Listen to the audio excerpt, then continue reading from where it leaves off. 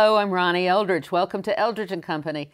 I'd like to talk about our new way of voting, and I couldn't have a guest more qualified to discuss it with than Doug Kellner, New York's outspoken advocate for election reform and co-chair of the State Board of Elections. Welcome. Hello, Ronnie. And thank you for all your relentless efforts to make voting easier, accessible, honest, and everything else you can do for us. Well, thank you, but there's still so much more that we need to do. I know, it's endless, isn't it? Tell us, why are we voting a different way?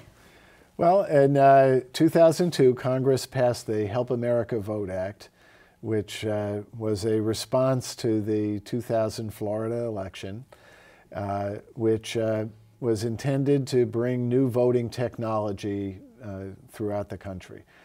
And uh, one of the provisions of the Help America Vote Act says that uh, every voter, um, including uh, uh, visually impaired voters, has to be able to use the system without assistance.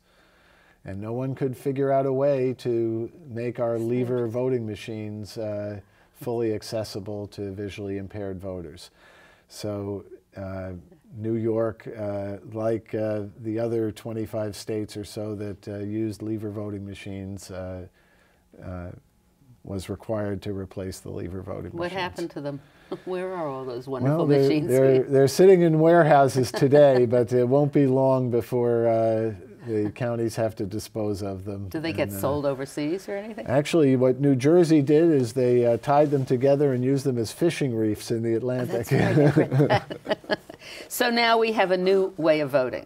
That's right. And, uh, and it's pretty simple uh, that voters should not be intimidated. Yeah. They start out the same way they did. They go in and sign the registration book. book. The same old book. but the next step is that the uh, uh, poll inspector will give the voter a paper ballot.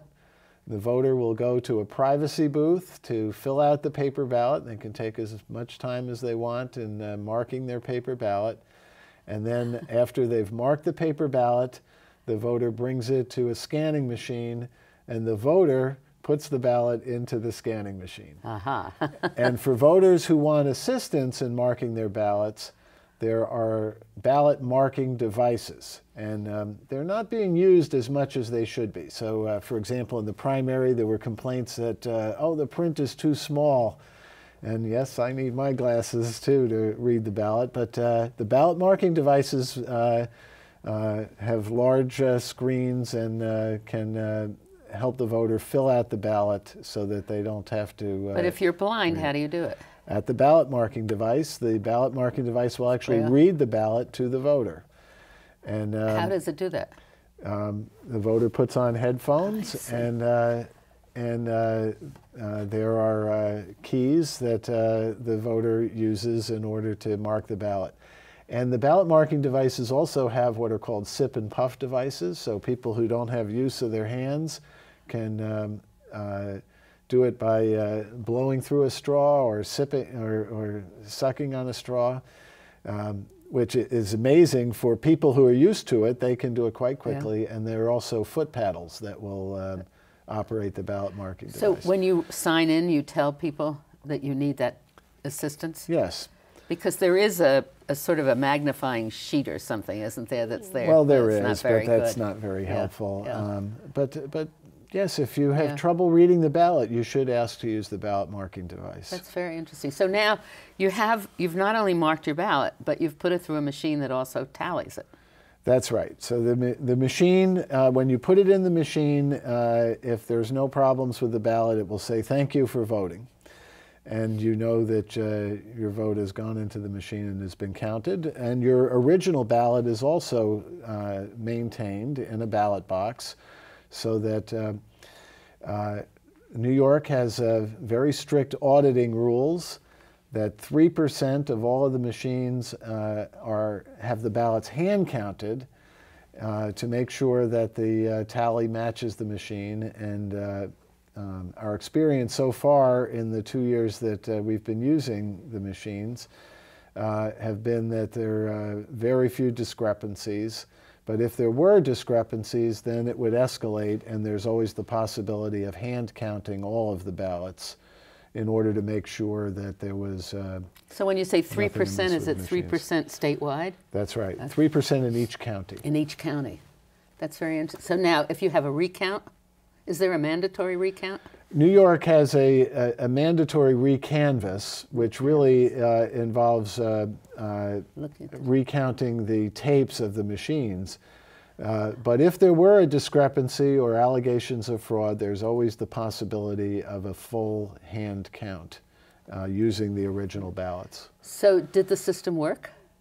Uh, in general, yes. And uh, what we've found is that uh, training is the key. So, in those counties that uh, did the pilot project last year, um, uh, uh, you know, they had uh, some typical startup problems or inspector confusion. Uh, but we found that there were many fewer problems in those counties. Now, New York City did it the first time in the primary election, and so uh, there was a, uh break-in period, and hopefully um, the uh, ability of the inspectors will advance so that uh, You uh, think a lot of it comes down to the training of the inspectors. There's no question that that's the most important. and we thing. still have two Democrats, two Republicans at each polling place. at each uh, election, Election district, district. and sometimes there are many election Right. districts in a poll site. And the state has no jurisdiction over that part of our process. Is that right? The, the election is run by the New York City Board of Elections, and the state simply makes the rules and uh, has general supervisory responsibilities. But the elections are run by the counties, and that's the hard part, is actually running. So them. we're all we're in New York City dependent on our Board of Elections. That's right. And how does that Board of Elections get set up? Well, there's one Democratic and one Republican commissioner in each borough, and they are named by the party organization, by the Democratic and Republican parties, So and confirmed by the city council. By the members of the party and the city council That's in right. each borough. So they're accountable basically it's To the parties. to the parties. And the party's accountable supposedly to its voters. That's right. But increasingly we don't have that that you know the other side I mean making them work at the very best. I mean when I was younger when you were in your height of of local politics they were very active groups of voters and districts that really made demands on the party structure. I don't think that's happening that much, is it? I think that's right. That I think that uh, that the level of activity within the party organizations has been declining, and of course the core are the political clubs that that make up the Right. grassroots membership of the party who are active, and um, where the political clubs have been declining. You also see it more difficult to run the elections because it's more difficult to recruit inspectors and to hold inspectors accountable. Right. You have 30,000 people it takes in New York City to run the elections who serve as poll workers on election day. And so recruiting those 30,000 people and training them is a major task for the Board of And it's Elections. it, it's difficult because most uh, very frequently these are people who are not the sharpest people in the world. So I would assume if you've changed the system, they really need to be trained a lot. That's right. And, and it's really, I mean, I've always felt we've discussed this before of how do you how do you train, how do you recruit people to volunteer because it's really a civic duty, although you do get paid. And I think historically, paying was the incentive to recruiting, right? I mean, in the old days, Well, public service, you had more people with leisure time who were willing to do it as a public service. But then they've also extended the poll hours, so it's a long day. You start Yeah. work at 5:30 in the morning and you don't finish until 9:30 or so in the evening. So that's a 16-hour day. And um, that's hard as you get older. So why don't we break it up into two eight-hour shifts? Well, Why don't we make it a, res- a civic responsibility like we do for jury duty or something like that? Or why don't we recruit whole new areas? I mean, you said that the state changed the law to make high school seniors eligible to be inspectors. That's right. Well, they had two, two innovations this year that Senator Addabbo, who's the chair of the Senate Elections Committee, and um, Assemblywoman Joan Millman, who's the chair of the Assembly Elections Committee, uh, uh, put in place this year. One is uh, they allow high school seniors now to be inspectors. And uh, the second is they do uh, provide for split shifts. Now, of course, on the split shift side, the city board says, well, that just would mean we'd have to recruit twice as many people. Instead of 30,000, we'd have to recruit 60,000 people. Um, I think the theory was maybe it'd be easier if uh, to recruit people for an eight-hour day hours. instead of a 16-hour day. We have so day. many people though that are looking. But you know, we have students. I mean, in high school who need to work or who want extra money, who also are interested in the electoral process. College students, the whole city university system. I mean, why aren't they should recruit from there? So I guess we should make demands of the local board of elections. Go out and find That's and train right. people better. And to be fair to the local board, they need the resources right. also. So for Manhattan, which has uh, 6,000 poll workers, you have six people at the board of elections who are in charge of recruiting them uh, and training them. Does the money and that they get paid come from the money in the budget? That's right, city taxes. So that has been cut considerably. Well, the, the, the amount that the poll workers get paid has uh, not gone up uh, for uh, at least 10 years They were now. looking they for an $200 a day. Yeah. Um, and uh, uh, many have been calling to increase that, that $200 for a 16-hour day is not realistic. Um, uh, and uh, the Board of Elections, like so many other city agencies, has really uh, been left uh, without being able to uh, get the resources to do everything that it wants to so do. So how large a staff do they have, do you know? Um, it's uh, about 340 people so a percentage, full-time. The percentage that goes to salaries of the workers at the board is a percentage of their total thing, and then the the, the, the, salaries that go to the inspectors is an, how do they compare those two percentages? Well, the uh, the the uh, there are they are separate budget lines, oh, but yeah. the uh, but the uh, poll worker payments are um, roughly a third of the total budget. Is the um, I, I'm sorry that I don't know this. I should. The city, the charter commission, is there a thing on for nonpartisan elections this year? No do you feel uh, that the weakened party structure, which I, mean, I think in my lifetime it's not like it used to be, that all of that contributes to the the way we vote, the the the turnout, everything? And that the partisanship is important or not important? Well, I, th I think that the partisanship is a valuable thing, and this anti partisan trend that we've seen in the last uh, 20 or 30 years has uh, really hurt our ability mm. to have representative government because the, the political parties and having and, and what, what's most important of the political parties to me are strong local political clubs with people who join them and do it for um, civic interest instead right. of self-interest. Right. And, and you don't have that level of involvement anymore. The people who are watching their elected officials and who can do something about it. If you're in a political club and your elected official is uh, straying, then you, you, can organize and run against that. Yeah, or threaten that you're not going right. to support them. Right. And, and with the breakdown in the clubs, when you don't have uh, organized local, powerful clubs uh, in a position to do that, then uh, it's that much harder to hold elected officials but the overall movement partly was as a result it's of disenchantment with the parties. I mean, and who they nominate and how it goes. So you saw I think in presidential elections we were talking about Howard Dean and his Meetups, and he formed they formed groups outside of the party in the primary, sort right. of, or it was in the party, but they weren't club people. Right, but that's not going to reform the process exactly. then. And, and, and the Obama was a whole separate structure because the party didn't endorse or people didn't endorse him. So it, it works against it. It's too bad that that's happening. And part of it must be also the money that gets fed into campaigns. I agree with you. Yeah. And campaign finance is a very important issue. Um, and what is the state doing about it? Well, um, uh, right now we're under attack, really.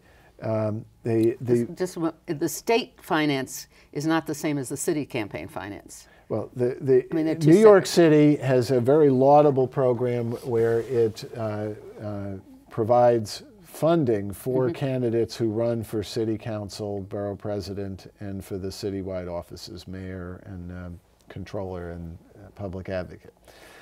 Uh, uh, uh, those are the only public campaign financing in New York State. But uh, uh, the State Board of Elections is responsible for the campaign finance disclosure system, where everybody who's running for office has to disclose their contributions.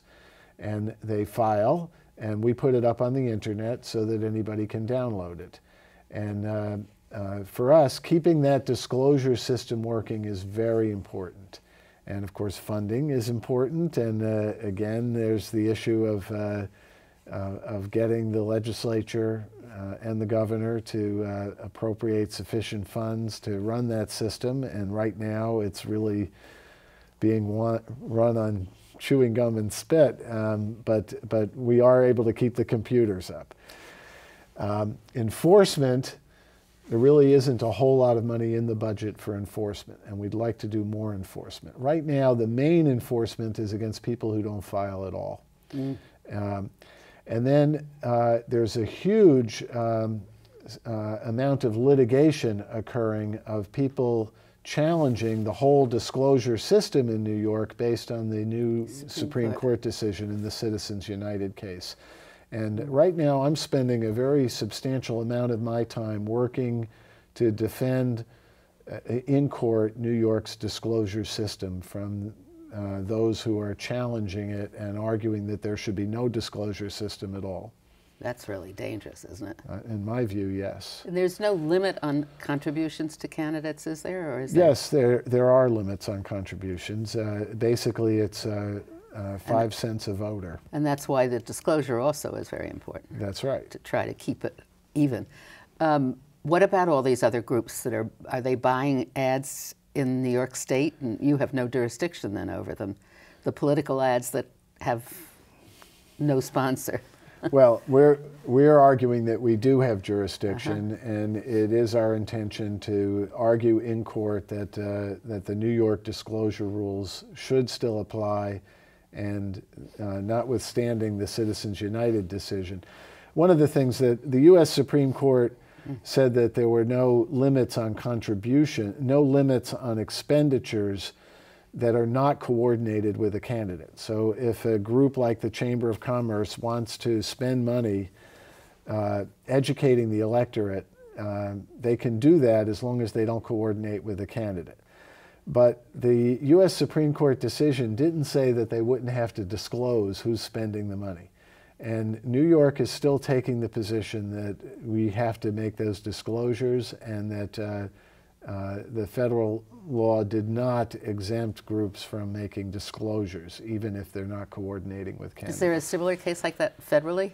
Yes, there are. There, um, Interestingly enough, the first case in New York was brought by the teachers union to challenge it, uh, and uh, the uh, uh voter education fund of uh, the New York State Union of Teachers.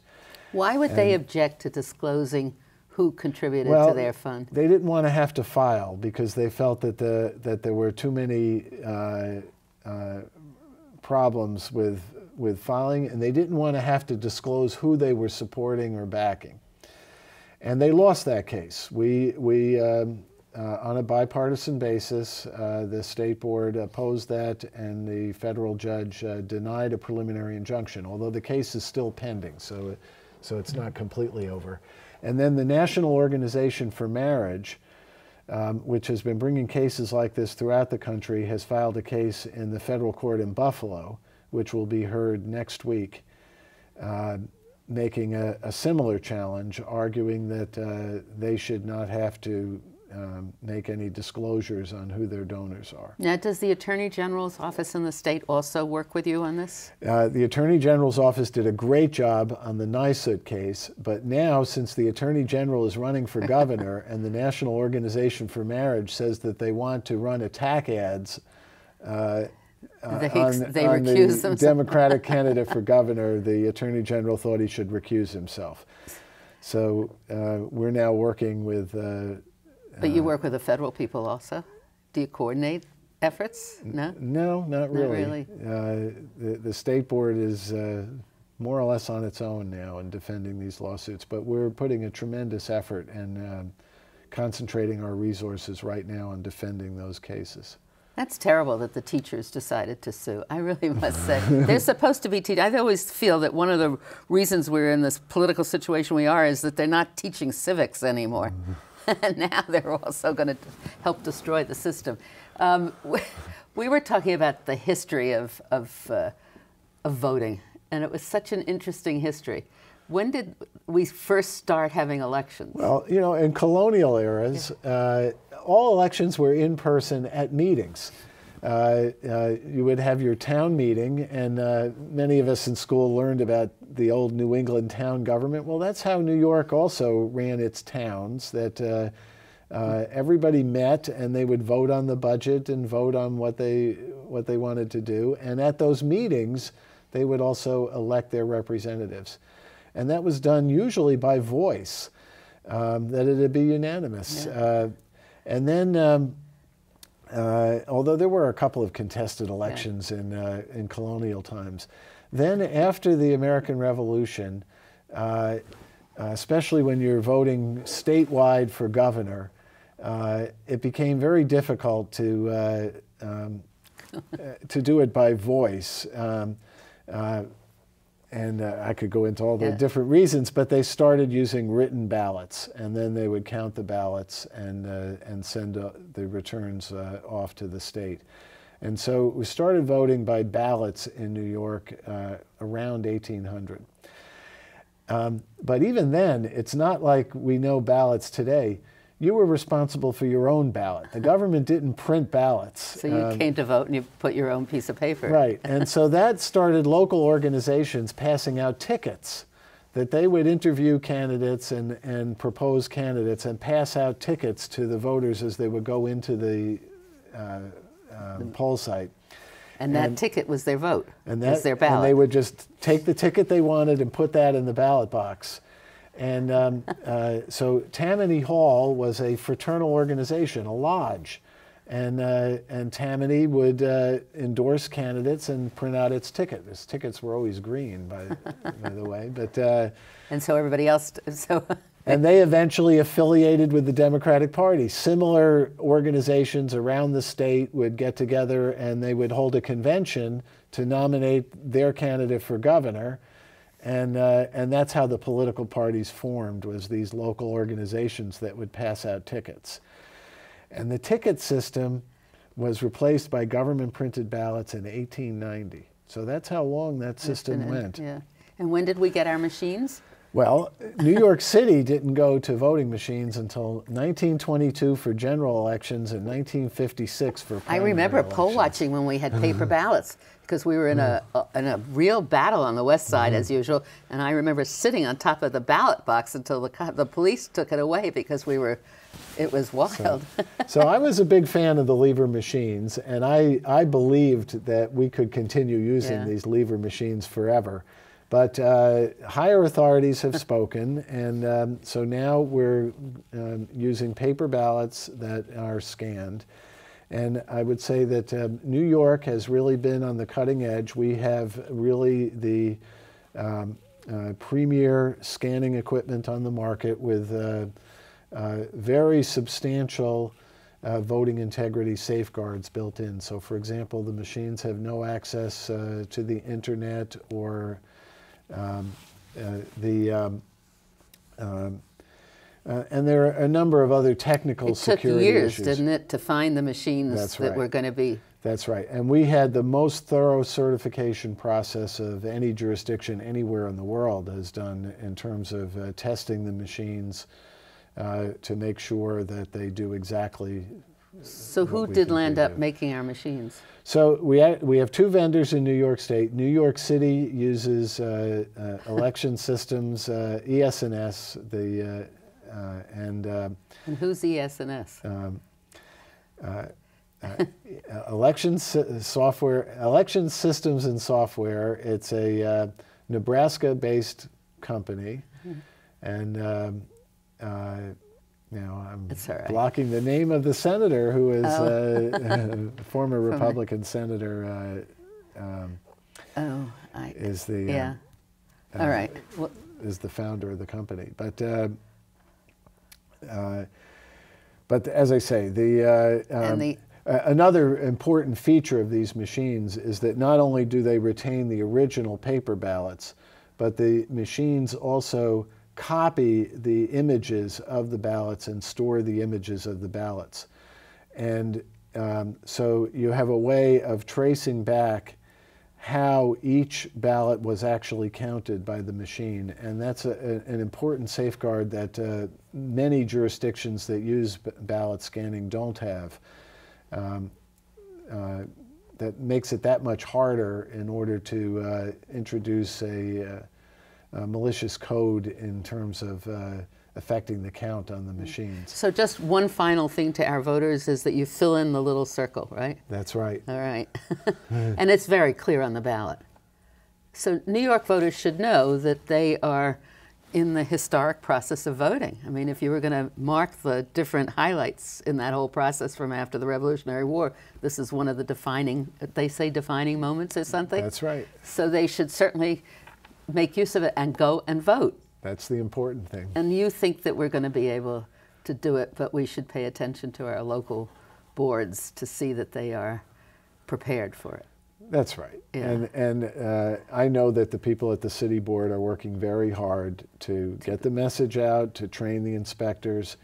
I think the most important things for the inspectors are getting used to giving voter mm-hmm. privacy, yeah. letting them mark their ballots in private. And, and, not take the ballot away and put it in the machine. That's right. so hold on to it and put it in yourself. We've come to the end of our half hour. So, uh, Doug, again, uh, it's so great to have you involved. I just wish you could run all of the elections all over the state. Uh, but thank you very much. Well, thank you, Ronnie.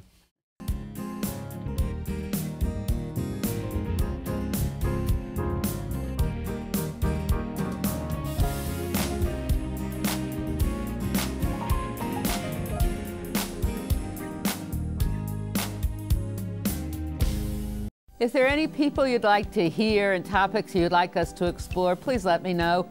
You can write to me at CUNY TV, 365 Fifth Avenue, New York, New York, 10016, or you can go to the website at cuny.tv and click on Contact Us. I look forward to hearing from you.